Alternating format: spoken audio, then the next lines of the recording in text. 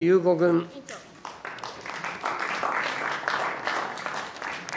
おはようございます。自由民主党の小渕優子でございます。えーこのような貴重なあ機会、質問の機会をいただきましたことを、委員長はじめ、皆様方に心から感謝を申し上げたいと思います。えー早速、質問に移らせていただきたいと思います。あの本日はあ少子化対策、女性活躍、えー財政、えーエネルギー、外交と聞いていきたいと思いますので、よろしくお願いいたします。まずはじめに少子化対策について質問をいたします。申し上げるまでもなく、少子化は日本が抱える最重要課題の一つであります。総理は所信表明演説の中で、少子化対策に真正面から取り組み、大きく前に進めてまいりますと、力強く宣言をしていただいています。菅総理にお伺いいたします。新型コロナウイルス感染症が問題となっているこの状況下で、より一層、この少子化対策、難しくなっているものと思われます。改めて総理の少子化対策にかけるご決意をお伺いさせてください。内閣総理大臣、菅義偉君。えー子どもを持ちたいというう方々の気持ちに寄り添って、その切実な願いに応えるために、不妊治療への保険適用、早急に実現するように、それと同時に、それまでの間は、現在、助成措置で対応してますけれども、これを大幅に拡充していきたい、このように思います。こうした不妊治療の経済的負担の軽減に加えて、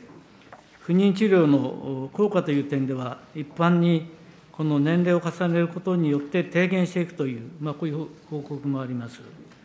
不妊治療をする面にあたっては、年齢と妊娠や出産との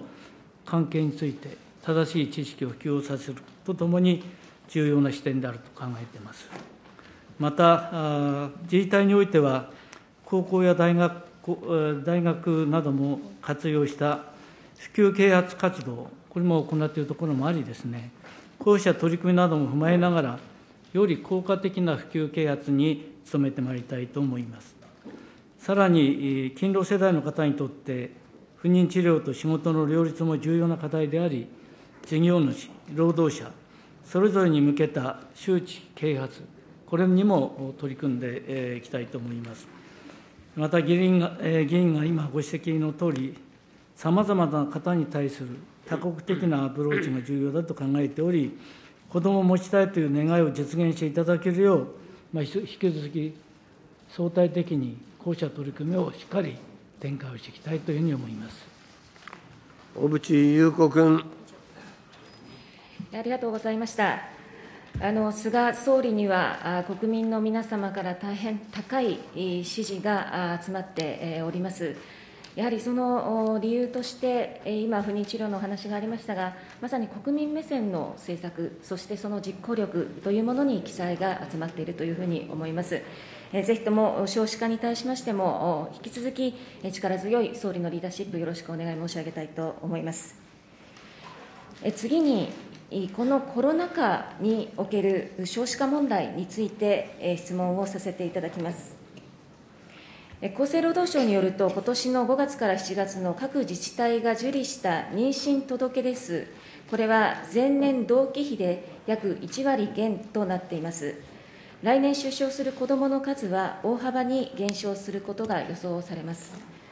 新型コロナウイルス感染症の不安がある中で、なかなかその希望と安心感を持って子どもを持ちたいと思えるような心境にならないというのが、国民の心理の中にあるのではないでしょうか。海控ええといいますか、今は少し様子を見よう、まあそのような動きもあるのかもしれません。えそこで田村厚生労働大臣にお伺いいたします。新型コロナウイルス感染症の下での妊娠、出産について、現状認識はいかがでしょうか？厚生労働大臣、田村憲久君。あの、まあ、母子保険法15条の規定でですね、えー妊娠した方々、届け出をしていただくことをお願いいたしております。あの、今、委員おっしゃられましたけれども、まあ、8月の実施した調査結果、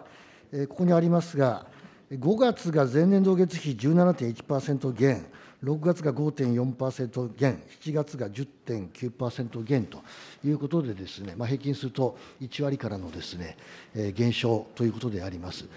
あのまあ、原因自体はですね、分析しきれていない部分はあるんですが、大きな社会的変化ということを考えると、昨年と本年と比べますと、やはり新型コロナウイルス感染症の拡大というものがございました。ですから、ま、この影響というものが、ま、推測はされるわけであります。あのまあ、大変不安をお持ちだということもございますので、えー、妊娠された方、そしてまた出産された後ですね、特に、あのこういう方々に対して、保健師の皆様方等々ですね、あのまあ、いろいろとご相談に乗るべく訪問したり、電話等々での相談体制、これ、二次補正でですね対応させていただいておりますが、あの合わせて、もちろん助産師の方々もそうでありますけれども、合わせてあの、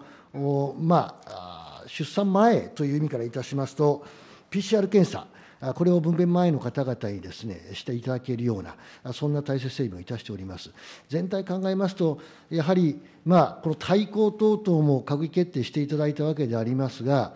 あの例えばですね、子育て世代包括支援センター、これの整備をしっかり進めていくでありますとか、それから、まあ、男性の育休の問題もあります。なかなか取得率、まあ、増えてきてはおりますけど、まだまだ足らないと。こういうものに対してもですね、しっかりと進めていくでありますとか、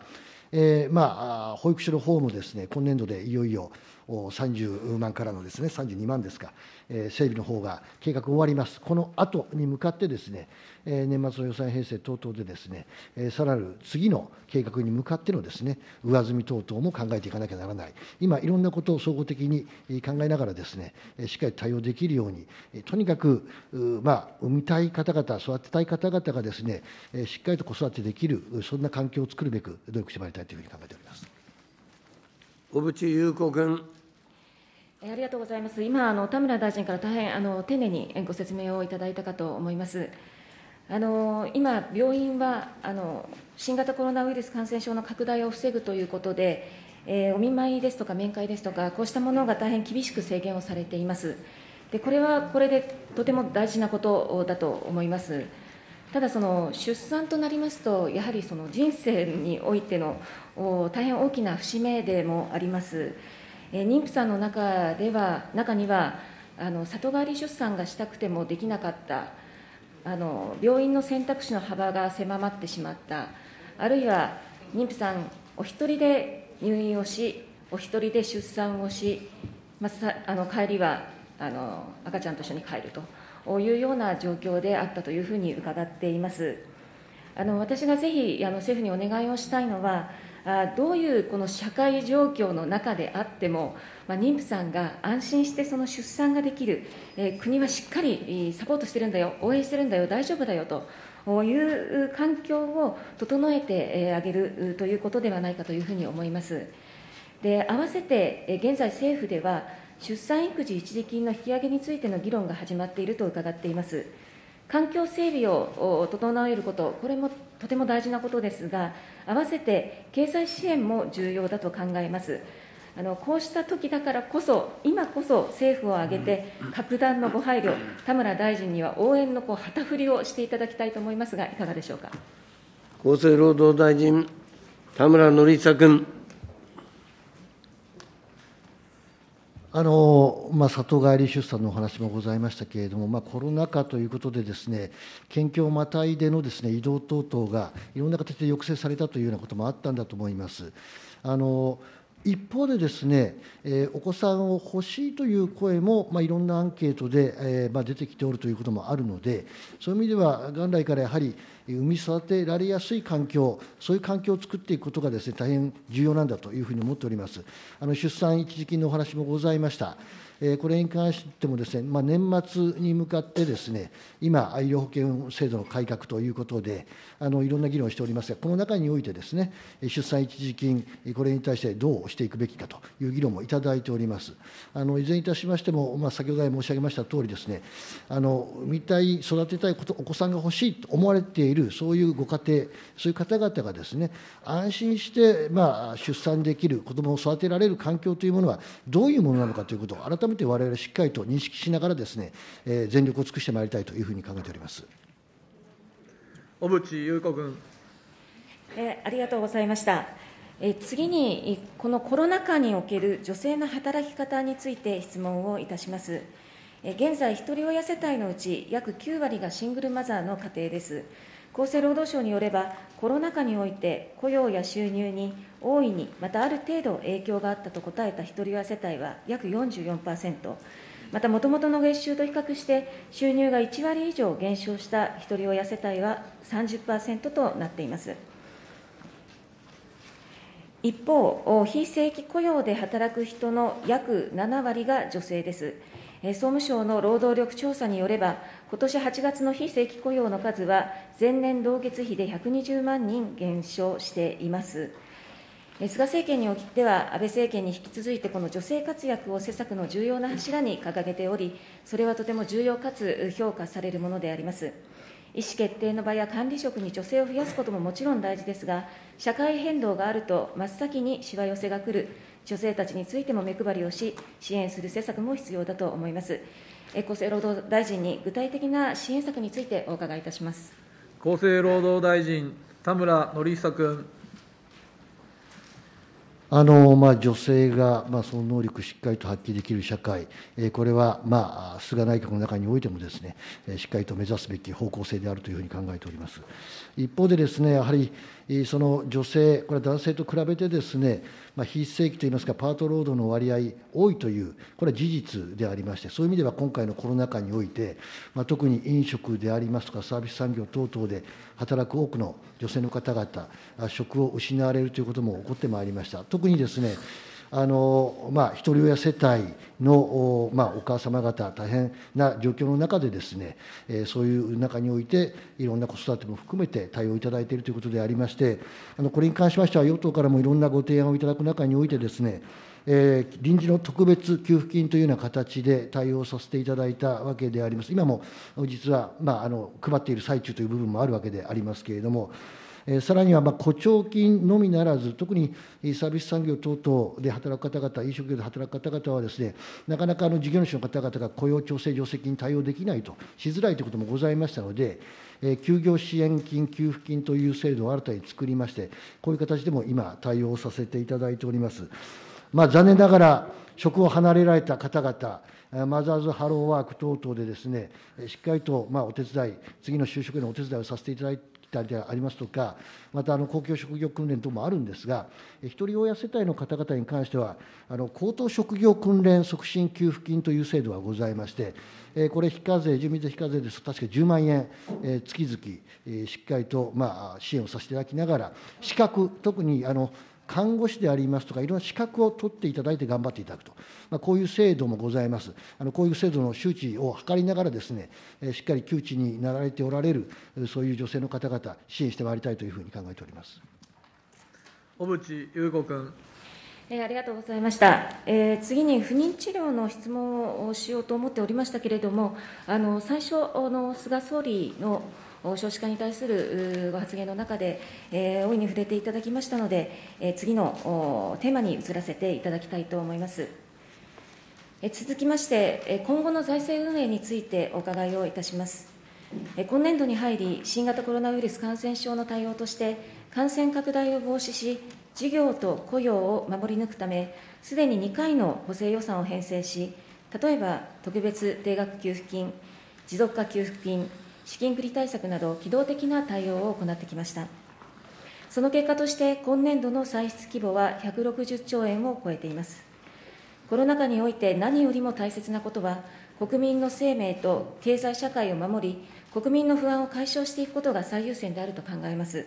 さまざまな対応は、未曾有の危機の克服のために、非常時における必要な支出増だと考えています。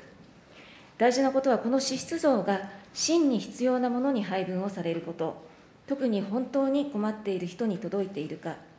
また例えばデジタル化や環境問題など、未来につながり、次の世代の投資となっているか、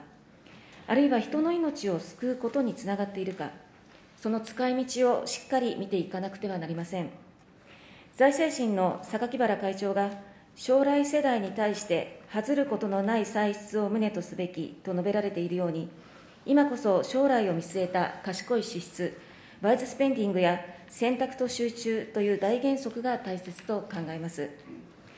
総理は所信表明演説において、新型コロナウイルス対策と経済の両立という大変難しい課題に果敢に取り組んでいかれることを改めて表明されました。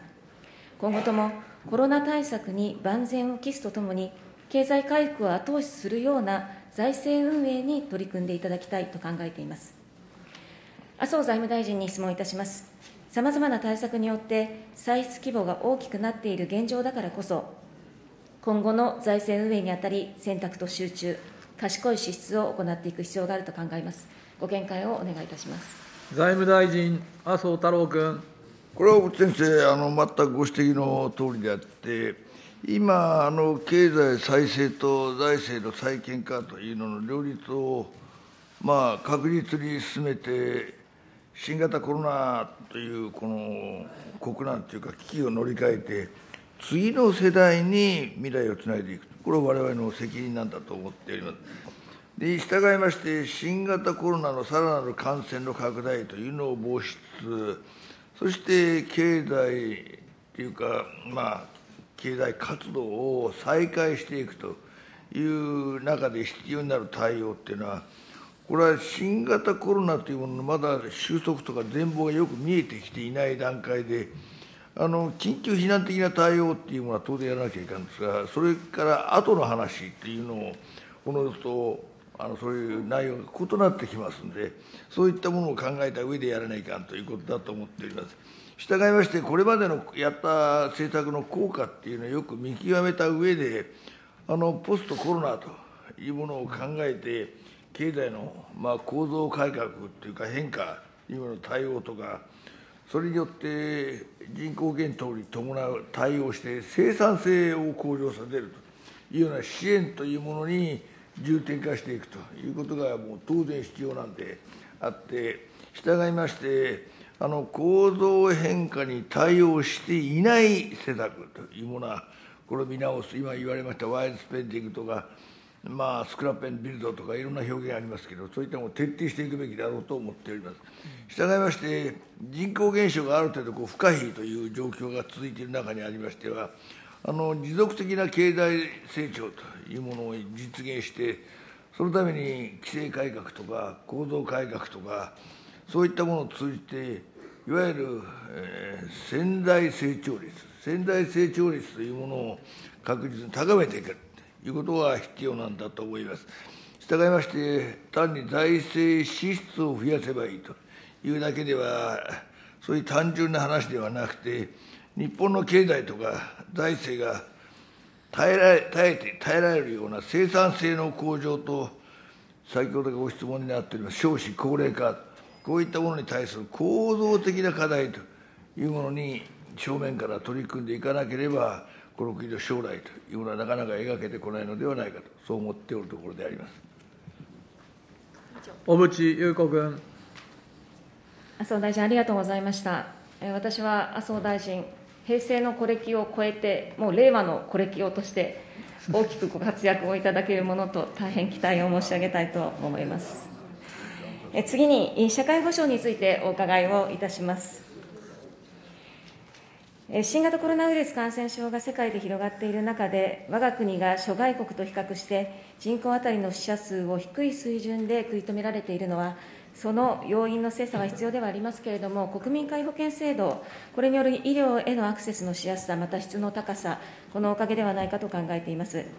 この社会保障制度について、総理は所信の中で、すべての世代の方々が安心できる社会保障制度を構築し、次の世代に引き継いでまいりますと、力強く宣言をされました。私もこの社会保障制度を持続可能なものとして、次の世代にしっかり引き継いでいかなければならないと強く感じています。コロナの有無にかかわらず、我が国が抱えている課題として、少子高齢化による支え手の減少という厳然たる事実があります。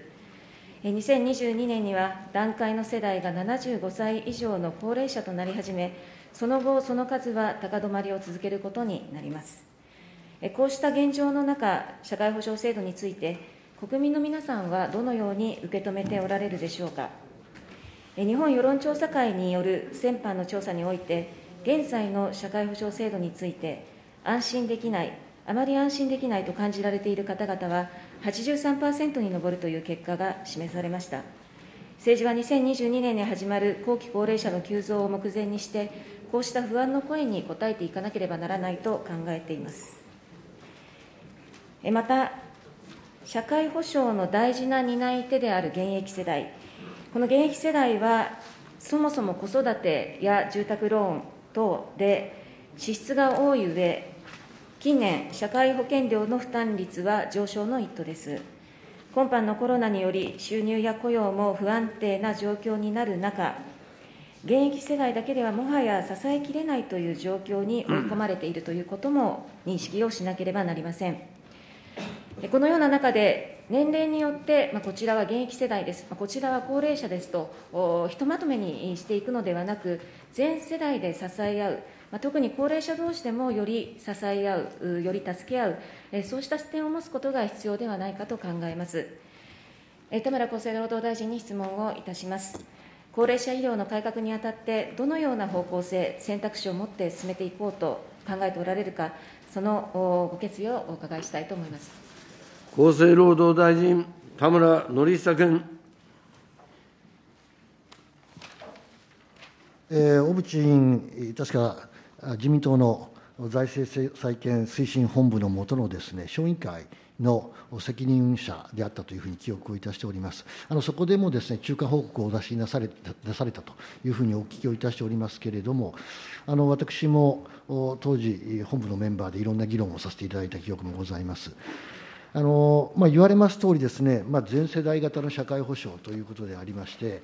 人口構想がですね、えー、逆ピラミッドになっていっておりますから、そういう意味では支える側がだんだん減ってきておるという、こういう状況があります。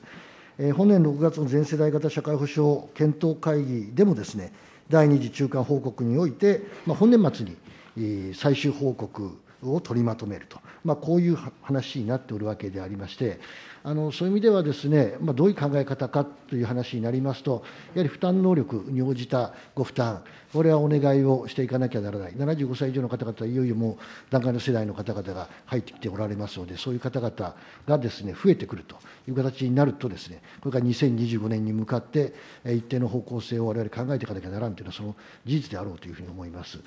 あの一方で、高齢者の方々の収入もよく判断しなきゃなりませんし、あの高齢者の方々は、やはり加齢とともに医療を受ける機会が増えてくる、つまり、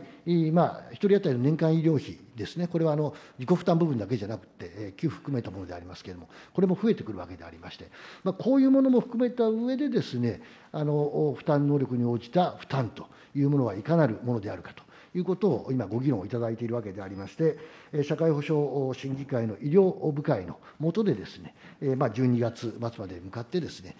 検討していただき、一定の方向性をお示しをいただきたいというふうに思っております小渕優子君。ぜひ、田村大臣には大変難題だと思います。しかし、持続可能性を維持した社会保障制度をしっかり引き継ぐという観点で、これからもその医療改革にリーダーシップを持って取り組んでいただければと思います。またご指導もどうぞよろしくお願いいたします。総理に質問をいたします。総理はかねてより、目指す社会像として、自助、共助、公助、そして絆を打ち出されています。総理のおっしゃる自助とは、うまくいかなかった人はすべて自己責任だというような、冷たい自己責任論ではなく、まず自分でできることは自分でやるということで、もし仮にうまくいかなかったときは、それは共助、公助で助け合おう、支え合っていこうということであると理解をしています。まさにこうした考えこそ、全世代による持続可能な社会保障制度の構築につながるものと考えますが、総理のご見解をお伺いいたします内閣総理大臣、菅義偉君。今、委員から言われたとおりでありまして、私自身の目指す社会というのは、自助、共助、公助、そして絆であります。まずは自分でやってみる、このこと大事だと思います。さらに、そういう国民の皆さんの創意工夫、そういうものを大事にしながら、家族や地域で助け合っていく、このことも大事だというふうに思います。そして最後は国が守ってくれる、セーフティーネットに守ってくれる、そうした国家というものを作っていきたい、このように思います。いずれにしろ、そのセーフティネットがしっかりしている社会、そういうものを安心、信頼される社会が大事だと思っています。社会保障制度についても同じでありまして、まずは国民一人一人が仕事でも地域でも、その個性を発揮して活躍できる社会を作っていく。その上で、大きなリスクに備えるという社会保障制度の重要な役割を踏まえて、各制度の非効率化や不公平を正しくことなどを通じて、すべての世代の方々が安心できる社会保障制度を構築し、次の世代に引き継いでいくという、そのことが大事だと思います。こうした考え方に立って、全世代型社会保障検討会議において、少子化対策や高齢者医療の見直しについて検討して、まあ、年末までに最終報告というものを取りまとめていきたい、このように思います小渕優子君。ありがとうございました。それでは次に、テーマは大きく変わりまして、エネルギー環境問題について質問をさせていただきます。先ほど、下村政調会長からの質問にもありましたが、菅総理、所信表明演説で、2050年にカーボンニュートラルを目指すという宣言をされました。世界中で気候変動に対する危機感が強まる中、日本がほかの先進国に遜色のない野心的な目標を掲げたこと、これはあ、これに対して総理の覚悟を感じ、大変嬉しく心強く思っているところであります。カーボンニュートラルというと、CO2 を全く出さないことだと受け止める方もいらっしゃるかもしれませんが、そうではなくて、CO2 を排出をしても、それをまたこう再利用したり、貯蔵したりすることで、全体として CO2 の排出量を抑えていきましょう、増やさないようにしましょうということだというふうに承知をしています。えー、私、現在あの、水素社会推進議員連盟の会長を務めております。あの同僚議員とともに水素の利用拡大に向けて、えー、いろいろ議論をし、取り組んでまいりました。え特にこのカーボンニュートラルの達成に対しては、水素が重要な鍵になると考えています。これまで日本は水素にいち早く着目をして、技術開発を進め、世界をリードしてきました。しかし近年、世界中で水素の関心が急速に高まっており、日本が追い越されてしまうのではないかという危機感を抱いています。先ほど、下村政調会長からの答弁でも、梶山経済産業大臣から水素ということに少し触れていただきました。質問させていただきます。カーボンニュートラルの実現に向けた水素の重要性、また各国の取り組みと比較した際、今、日本の立ち位置というものはどのようなものになっているのか、ご説明をお願いいたします。経済産業大臣、梶山弘君。小渕議員ご指摘のとおり、この1年で、まあ、EU やドイツ、オランダ、オーストラリアなど多くの国で、水素の国家戦略が策定されるなど、世界で水素の取り組みが本格化をしているのが現実であります。他方で、日本は2017年に世界で初めて、水素基本戦略を策定し、水素の供給コストの削減や需要創出のための取り組みを進めてきたところであります。具体的には国内において燃料電池車の普及に備え、官民一体で水素ステーションを整備するとともに、国際的には世界で初めて液化水素運搬船を建造し、国際水素市場の創出に向けた取り組みを開始するほか、欧米の水素発電のプロジェクトに日本企業の技術が導入を予定をされていると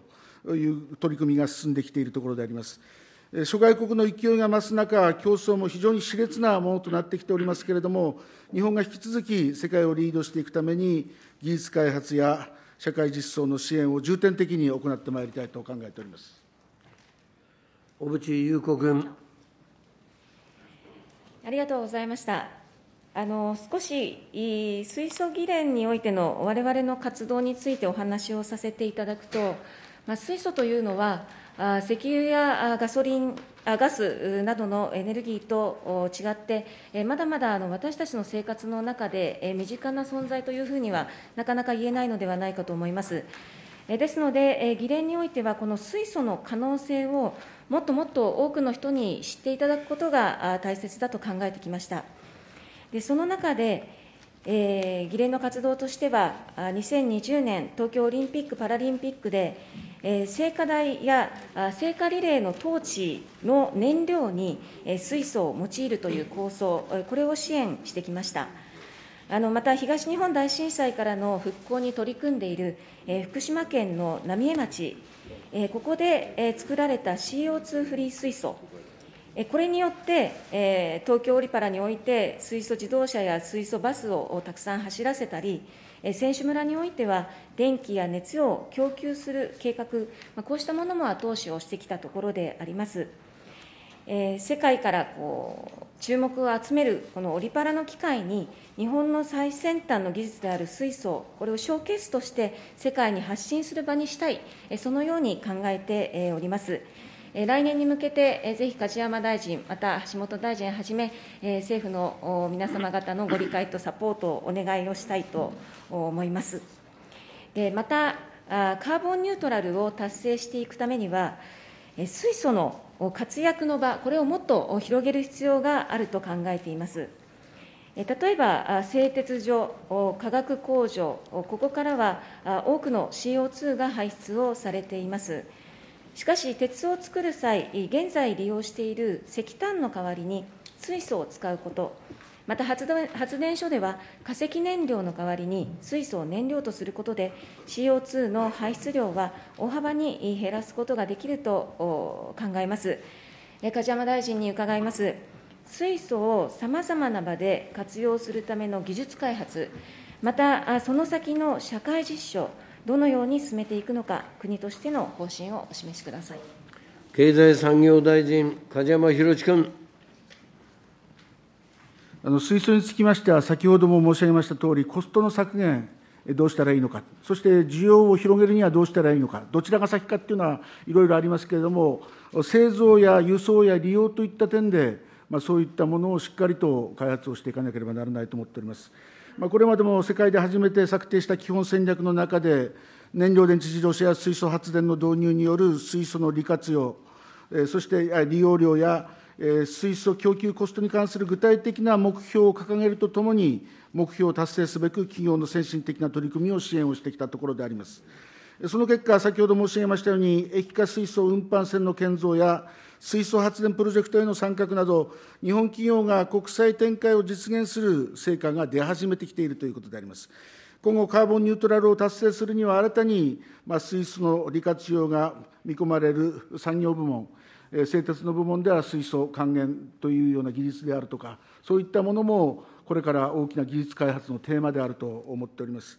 幅広いプレイヤーを巻き込みながら、発電も含めた幅広いプレイヤーを巻き込みながら、最先端の技術開発や社会実装を進めていくことが重要となると考えております。まあ、そのため、2050年に向けた道筋を水素分野も含めて、年末を目途に具体的な目標年限やターゲット、規制や標準化などの制度整備、社会実装を進めるための支援策などを盛り込んだ実行計画をまとめる予定であります。2050年カーボンニュートラルへの挑戦は日本の成長戦略そのものであります。あらゆるリソースを最大限投入して、経済界、産業界とともに経済と環境の好循環を生み出してまいりたいと考えています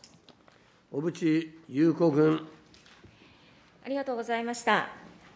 それでは菅総理にお伺いいたします。今まで申し上げてきたように、2050年カーボンニュートラルという大きな目標の実現には、水素は欠かせない重要な役割を担うと考えます。総理のお考えをお伺いさせてください。内閣総理大臣、菅義偉君。まあ、水素は二酸化炭素の排出をゼロにする、まあ、クリーンなエネルギーであり、カーボンニュートラルの実現に向けて非常に重要な鍵である、このように認識しています。まあ、一方でコストが高いというこれ課題があるために、革新的なイノベーションを通じ、安価で大量に水素を供給するサプライチェーン、これを構築をしていくことが大事だと思います。これによって水素の利用をさらに促進することで、産業構造や経済社会改革をもたらして、経済と環境の好循環をしっかり作っていきたい、このように思います。小渕優子君。ありがとうございました。それでは続きまして、人の往来の再開について、えー質問させていただきます。コロナの感染拡大によって、日本経済、世界経済、深刻なダメージを受けました。日本の主力の GDP は、前期比年率でマイナス28%、これは戦後最悪の数字です。世界全体を見ても、IMF の予測では、今年の世界経済成長率はマイナス4.4%、これは1930年代の世界恐慌以来、最悪の数字となっています。特に落ち込みが激しいのは、運輸サービス、飲食、宿泊、小売といった業種であります。これらの業種は、国内はもとより、海外から人が来なくなれば当然大きな影響を受けます。9月の訪日外国人は、今年は約1万3000人です。昨年は220万人以上でありますので、もうこれは実に99.4%のマイナスとなっています。私はあのこのウィズコロナの時代にあっても、日本は世界に開かれた国であり続けるべきだと考えます。オリパラを控えた日本にとって、鎖国という選択肢はありません。ただ他方で、えー欧州などで再び感染が広がっていると聞きますと、まあ、不安を覚える方も多いのではないでしょうか。えー国内に感染が広がらないよう対策を徹底し、国民の皆様の理解をいただきながら、段階的に往来往来の再開を進める必要があると考えます。そこで茂木外務大臣にお伺いをいたします。大臣はこの間も精力的に海外出張をされ、人の往来再開に向けた交渉をしていただいています。各国との交渉はどのような状況にあるのでしょうか。また現状で人の往来はどこまでできるようになっているのか、ご説明をお願いいたします。外務大臣、茂木敏光君。まずあの、小渕議員がおっしゃるようにですね、今、あの日本だけではなくて、世界経済全体、あの落ち込み、あの深刻でありまして、え主力の数字をおっしゃっていたように28.1、あの12年前のリーマンショックの時は17.8でしたから、それと比べても圧倒的に大きい数字でありまして、しかもリーマンショックの時は先進国がマイナス、しかし、えー途上国、新興国はプラスという状況でしたが、今回、残念ながら全体がマイナスと、えーそういった中でですね、えー内需もそうなんですが、やはりインバウンドも含めて、どういった形で貿易や、まあ、人の往来を再開していくかと、えー経済の再生の意味から極めてあの重要だとまあ考えております。あの小渕のお父様、えー外務大臣もお務めになった小渕恵三元総理、まあ、常々ですね、諸外国との関係、これは政府間の関係の強化もあるんだけれど、経済界の交流であったり、青少年を含めた人々の交流と、これがまさに、えー基盤を作って強化をしていくんだと、えー、こういう話をあのされ、また実践をしていたと、まあ、このように考えているところでありますが、まあ、現在、コロナの影響、なかなかそれができないところでありますが、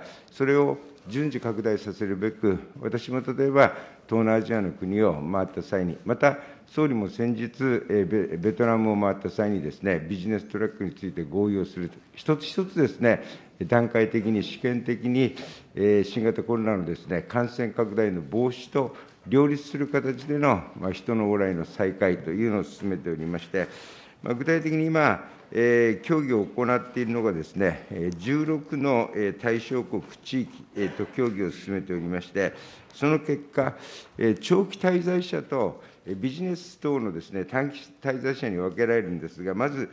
長期滞在者を念頭に置きました、レジデンストラックにつきましては、タイ、ベトナム、カンボジア、マレーシア、ミャンマー、ラオス、台湾、シンガポール、韓国、ブルネイの10カ国地域との間で、すでに開始をしておりまして、また、ビジネス関係者など、短期の出張者を念頭に置きました、ビジネストラック、これにつきましては、シンガポール、韓国との間ですでに開始しておりますが、昨日からはですね、これがベトナムとの間でも、えー菅総理、えー副首相のです、ね、合意に基づいて開始されたというところであります。またあのやっぱり圧倒的にですね、えー人の来訪多いのは中国でありまして、この対中国の関係のレジデンストラック、まあ、ビジネストラックにつきましてもですね、えー早期開始に向けて、まあ、詰めの協議を行っているところであります。えーさらには、在留資格を持っている海外の方、例えば一旦海外に出てしまって、なかなか戻れないという、こういう話もありましたんで、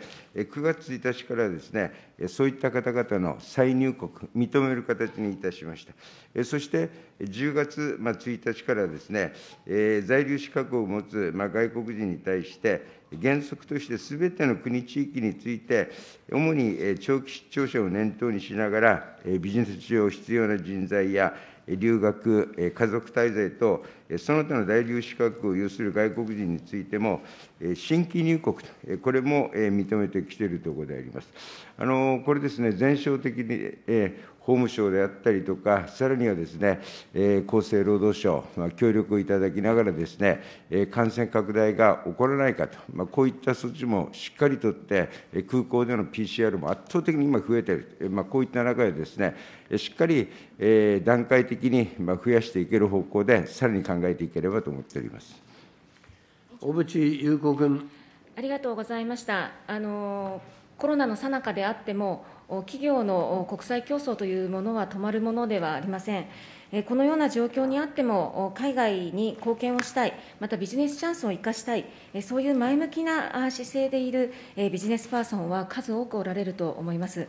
ぜひ茂木大臣にお願いをしたいのは、日本の産業界や海外に渡航したい方々に向け、力強い後押しをしていただきたいということです。そしてもう一方で、海外から人を受け入れることに不安を感じている方々に向けて、しっかりとした感染防止を取っているということをご説明をいただきたいと思います。力強い後押し、丁寧な説明、このことをお願いして、次の質問に移らせていただきます。え最後にえ、橋本大臣にお伺いをいたします。総理は所信表明演説の中で、東京オリンピック・パラリンピックを人類がウイルスに打ち勝った証としてやり抜くとの決意を示されました。そのためにも、人の往来の再開は重要な課題であります。担当大臣として、どのようにしてこの総理のご決意、これを実現していくお考えか、お伺いしたいと思います。法務大臣、橋本聖子君。お答え申し上げます。来年の東京大会については、世界が新型コロナウイルスに打ち勝った証として開催をして、東日本大震災の被災地が復興を成し遂げつつある姿を世界へ向けて発信する場とするべく、関係者が一丸となって準備を進めております。特に感染症対策については、アスリートや観客等によって安心安全な大会運営の実現を図るために、国と東京都、そして組織委員会による調整会議を開催いたしまして、実効的な対策の検討を行っており、年内に中間整理を予定しております。また、委員が進める水素に関しましても、選手村で水素の利活用された水素バスですとか、あるいはロボットの活用、そういったことによって、日本の技術を発信して、誇りの持てる大会にしていかなければいけないというふうに思っております。先日の東京オリンピック競技大会、東京パラリンピック競技大会では、推進本部では総理から各大臣に検討を加速し、準備に全力を尽くすよう指示があったところであります。私自身、オリパラ担当大臣として、大会を来年必ず成功させるという決意のもと、IOC、IPC、組織委員会、東京都、しっかりと緊密な連携をしながら、準備に努力をしてまいりたいというふうに思います。小渕優子君。ありがとうございました。ぜひ橋本大臣におかれましては、国民の先頭に立って、えー、オリパラ引っ張っていただきますように、心からご期待申し上げ、以上で質問を終わりとさせていただきます。ありがとうございました。この際、山際大志郎君から関連質疑の申し入れがあります。下村君の持ち時間の範囲内でこれを許します。山際大志郎